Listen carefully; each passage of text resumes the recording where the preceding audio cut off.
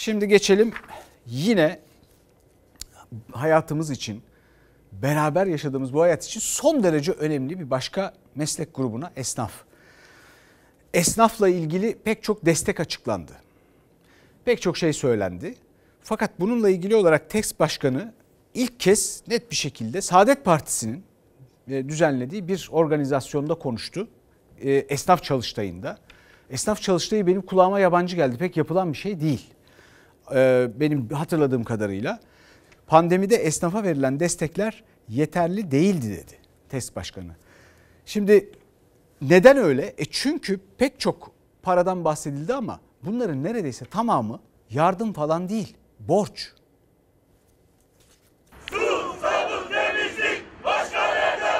Aylardır kapalı olan hamam esnafı İzmir'de peştemali sabunuyla yaptığı eylemle Saadet Partisi'nin esnaf kongresine katılanlarsa uzaktan bağlantıyla seslerini duyurmaya çalıştılar. Esnaflar kapalı, bankalar açık, vergi dairesi açık, devletimizin yasasına girecek olan bütün kurum ve kuruluşlar açık. Bu ne lahana bu ne periz. Sosyal yardımlaşmaya veyahut da kaymakamlığa gittiğimizde tamam biz size destek çıkıp diye bize koli gönderiyorlar. E ben vergi dairesine bir bulgur mu vereceğim, pirinç mi vereceğim? Stopajı veriyorum, katma değeri veriyorum, peşin vergiye de veriyorum. İyi de ben niye üst üste üç tanesini vereyim ki?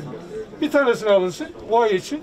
Diğer iki tanesi benim çoluk çocuğumun boğazına gitsin. Dünyada çarkların adeta durma noktasına geldiği dönemlerde bile Türk ekonomisi kontak kapatmadı. Peki sizde işler nasıl? Hani ülkede olduğu gibi yani pek bir hareket yok. İyi Parti lideri Akşener ise Karabük'le esnafı dinledi. Yerler anlatım biçimi değişti ama esnafın derdi aynı. Salgında açık kapalı fark etmeden hepsi vergi yükünden şikayetçi. Destek alanlar geçimlerine yetmediğini söylerken Çankırı'da CHP'li heyeti karşısında gören bir kahveci de bir buçuk yıldır hiç destek alamadım dedi. Araştırın hiçbir yerden bir kira yardım alamam. Dünyada esnafa en az destek veren ülkelerden birisi durumundayız. Borçlarını yeniden yapılandırdı. E bunları devlet olarak biz yaptık. Ama nankörlüğün boyutu yok. Cumhurbaşkanı Erdoğan destekler yetersiz diyenlere böyle seslenmişti ama TESK Başkanı da muhalefetin konuştuğu esnafları doğruladı. Yardımlar yetersizdi dedi. Pandemi sürecinde tabii esnafa verilecek destekler belki de yeterli değildi. Destek ve hibelerin büyüklüğü bu rakama lütfen dikkat. 661 milyar lirayı buldu. Hani hükümetlerde diyorlar ya. Ortada yardım falan yok. Milletin sırtında 661 milyar lira bir borç yükü var sadece. Var mı kredi borcunuz? Olmaz mı efendim? 150 milyar kredi borçluyum şu anda. Yani. Millet yaşadığına mı inansın yoksa Erdoğan'ın sözlerine mi inansın? Vatandaşa karşılıksız hibe olarak verilen destek önden topla, arkadan topla, sağdan topla, soldan topla 10 milyar lira.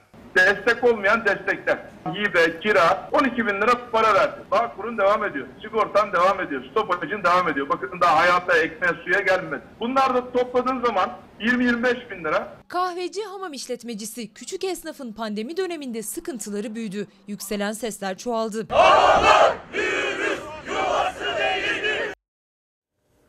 Bir izleyicimiz demiş ki e, ya, şeye cevapsıza cevapsız etiketine. Mesela 128 milyar dolar mesela 10 bin dolar kim alıyor kime veriliyor? Mesela pudra şekeri mesela say say bitmiyor ki demiş. Bir başka izleyicimiz de tüm sorular cevapsız kaldı demiş. Şimdi boşuna patron sizsiniz demiyorum. Cevaplar sizde. Cevapları kendinizden başka kimseden beklemeyin.